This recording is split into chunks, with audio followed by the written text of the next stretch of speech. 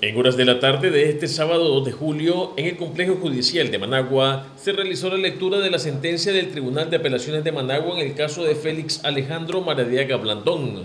la que confirmó la pena de 13 años de prisión por el delito de menoscabo a la integridad nacional en perjuicio del Estado de Nicaragua y la sociedad nicaragüense. Confirma sentencia número 08-2022 dictada por el Juzgado Quinto Distrito Penal de Juicio de Managua el día 3 de marzo del año 2022 a las 8 de la mañana que en virtud del fallo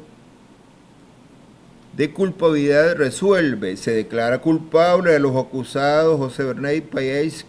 Arana, Félix Alejandro María Blandón, José, José Adán Aguirre Chamorro, Juan Sebastián Chamorro García, de generales conocidos en auto, por ser coautores del delito de menoscabo a la integridad nacional en perjuicio del Estado de Nicaragua y la sociedad nicaragüense. Maradiaga fue uno de los principales promotores de los actos terroristas que dejaron decenas de muertos, destrucción de infraestructura y el retroceso económico del país en el año 2018. Además, promotor de agresiones extranjeras en contra del pueblo nicaragüense. Cabe destacar que en la sentencia donde se reitera la condena, también el Tribunal de Apelaciones le reiteró la inhabilitación para ejercer cargos públicos. Se condena a cada uno de los acusados, José Bernal Payáis,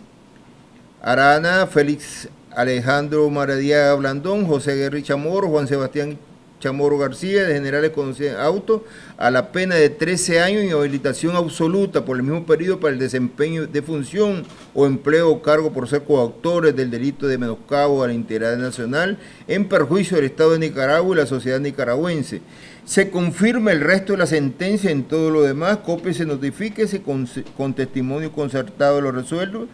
devuélvense la diligencia al lugar de origen, sentencia que ya fue efecto de notificación. Esta sentencia del Tribunal de Apelaciones de Managua confirma la sentencia de condena que le había impuesto un juez de distrito penal en primera instancia a Félix Maradiaga, por lo que deberá continuar en prisión hasta pagar la pena de 13 años por los delitos cometidos. Héctor Calero, TV Noticias.